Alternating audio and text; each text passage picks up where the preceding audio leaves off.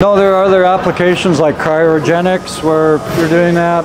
Um, here's another one, much smaller unit, but in Phoenix, we have somebody from Phoenix, right? Yeah. Yeah, so you guys sold a system that went into where you're manufacturing air uh, airbags for cars.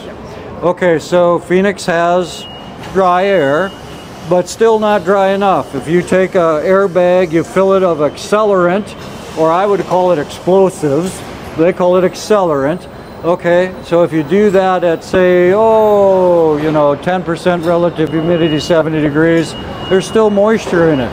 Now you put that into that airbag and you drive it up to Minnesota where it's minus 40 and you get into an accident, that thing is frozen shut. Okay, so even in Phoenix, there's times when you have to get that dry. We dry out SpaceX before it launches. What is the dew point up there? Okay, so you got to dry it, dry